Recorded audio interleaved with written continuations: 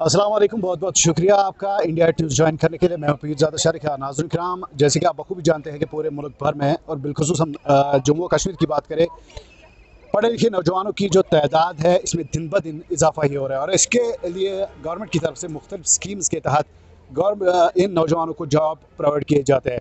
नाजन कराम इस वक्त हम मौजूद हैं। आपको बता दें कि district employment counselling centre Shopian के बाद जहाँ पर एक रोज़गार मेला लगा हुआ था और पढ़े लिखे नौजवानों के, को यहाँ से रोज़गार देने की भरपूर कोशिश की जा रही है, जिसके लिए जॉब प्रोवाइडर्स, कुछ कंपनियाँ यहाँ पर आई थी जो इन बच्चों को जॉब प्रोवाइड करते हैं।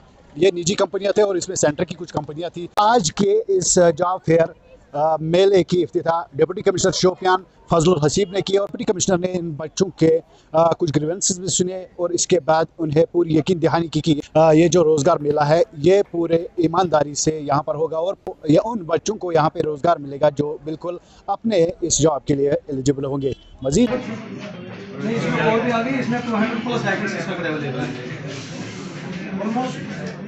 प्लस वैकेंसीज है इसमें। तो इसको बिल्कुल अच्छे से इस अपॉर्चुनिटी को यूटिलाइज कर लेना। तो बाकी कोई दिक्कत होगा एम्प्लॉयमेंट वाले यहीं पे तो आप इनसे फैसिलिटेशन ले लेना अकॉर्डिंगली अगर कोई और इशू है तो फिर फाइनली मेरे पास तो आप आ ही सकते हो। ठीक है? तो एनीथिंग एल्स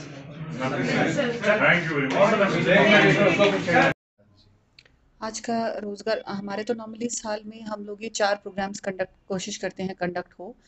मेगा लेवल पे भी हम ये प्रोग्राम करते हैं। साल में दो बार लास्ट ईयर हमने किया था।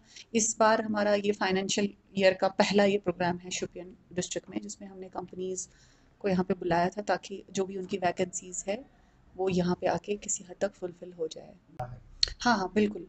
किसी हद तक अब एक प्लेटफॉर्म देने की कोशिश हम करते हैं। हमारा काम ही है प्लेटफॉर्म देना बच्चों को और जो एम्प्लॉयज़ है, एक जगह पे मिल के बैठे वो अपनी वैकेंसीज बताए, वो अपने क्वालिफिकेशन क्राइटेरिया जो उनको चाहिए होता है, सामने अगर बच्चे में एक्सपीरियंस है, वो उनको इसी प्लेटफॉर्म पे मिल जाता है और उस हिसाब से मुझे लगता है ये काफ़ी अच्छा रहता है और हुए भी हैं काफ़ी बच्चे यहाँ से रिक्रूट इस तरह के प्लेटफॉर्म से।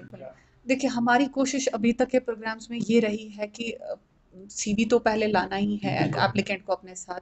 तो फ़र्स्ट राउंड में ही अगर ऐसा एप्लीकेंट हो जो लगता है कंपनी को कि नहीं he is the right person for the right post जो उनको चाहिए होता है तो वो ले लेते हैं। अब ऐसा भी होता है कि सेकेंड राउंड भी करना है। कंपनीज़ का अपना एक क्राइटेरिया होता है जो फुलफिल करना नेसेसरी है मे बी सेकेंड राउंड में they want to interview something more कोई एक्सपीरियंस या कुछ और जो वो देखना चाहते हैं। तो सेकेंड राउंड भी हो सकते हैं। उस चीज़ को लेकर हम ये नहीं कह सकते हैं वो तो करना पड़ता है। बहुत सारी कंपनीज़ करती हैं बट बहुत सारी ऐसी भी हैं जो ऑन स्पॉट ही आपको रिक्रूट करती है ऑन स्पॉट ही ले लेती है और हमने कई बार अपॉइंटमेंट लेटर्स ऑन स्पॉट ही दिए हैं। जी जी ये ये बात मेरी नोटिस में भी आई है। मेरा सवाल हाँ। क्या आपके डिपार्टमेंट की यहाँ तक ही ज़िम्मेदारी है? क्या इसके बाद भी बच्चे का जो ये जो फ़ोन ना आना मैसेज ना आना या उसको ईमेल ना आना ये इसके बाद भी आपके डिपार्टमेंट की किसी हद तक हम हम रिस्पॉन्सिबल कह सकते हैं हम अपने आप को रिस्पॉन्सिबल कह सकते हैं कि हम भी उनके साथ क्योंकि कंपनी हमारे पास ले। लेकिन हमारा जो बेसिक काम है हमारा काम है प्लेटफॉर्म देना। एक एप्लीकेंट को और एक एंटरप्रेन्योर को एक एम्प्लॉयर को प्लेटफॉर्म देना क्योंकि वो भी ढूंढ रहा होता है अपनी कंपनी और ये भी ढूंढ रहा होता है। तो एक जगह जो प्लेटफॉर्म हम कोशिश करते हैं देने की हम मीडिया के थ्रू बा, बाकी पब्लिसिटी करके कि ये जो क्राइटेरिया है इस कंपनी को चाहिए। क्योंकि company is not bound to यहाँ पे आने के लिए। हम अपनी रेपुटेशन से अपने लिंकेज से उनको कोशिश करते हैं कि आप यहाँ आए हमारे पास बैठे अपनी जो आपकी क्वालिफिकेशंस है हमें बताइए क्राइटेरिया जो आपके चाहिए आपको वैकेंसीज है हमें बताइए ताकि हम शेयर करें। आगे हम आपको एक प्लेटफॉर्म दे जहाँ बच्चे भी आएँगे। बच्चे तो डायरेक्टली भी कंपनी के पास जा सकते हैं और ऐसा ही होता है आज तक। बट जॉब फेयर का मकसद ही हमारा रहता है कि नहीं, एक ही कंपनी नहीं there will be number of companies एक ही जगह पे और number of applicants will be एक ही प्लेस पे। अदरवाइज़ ऐसे भी बच्चा जा सकता है कंपनी भी अवेलेबल है, कहीं पे भी जा सकता है, वो अपनी एडवर्टीजमेंट अलग से भी दे सकते हैं और जो हो भी रहा है। बट हमारा यही कोशिश जो हमारी रह रही है कि हम इसको थोड़ा ज़्यादा वेटेज दें हम कंपनीज़ के पास जाते हैं उनको बोलते हैं हमारे पास आके रजिस्टर करें। रजिस्टर एज इन की आप पार्टिसिपेट करें हमारे जॉब फेयर में जहाँ हम्म। बच्चे काफ़ी सारे बच्चे आए। ये एक ऐसा दिन होता है। आज आपने देखा होगा कि कितने बच्चे आए।